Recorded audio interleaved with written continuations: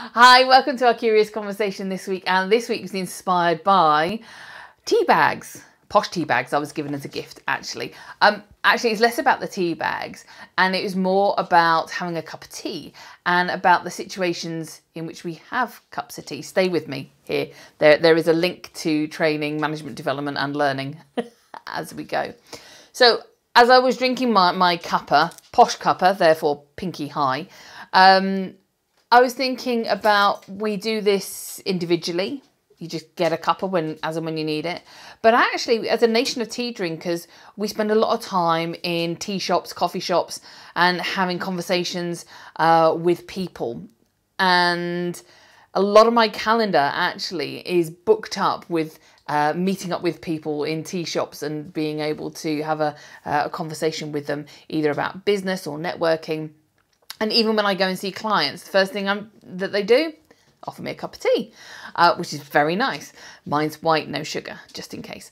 Um, so this also got me thinking about a lot of the stuff that I get asked to do in terms of management development is around communication. People want their managers to be able to communicate more effectively, to deal with honest conversations, to broach difficult conversations, all those kind of things and we put it into a very formal setting. Uh, well, I don't, but you know, we we try and say, right, this is how a conversation goes. But in actual fact, a cuppa and a catch up can do just as much good for that relationship between manager and direct report as a formal sit down in a meeting room somewhere where you're going through things.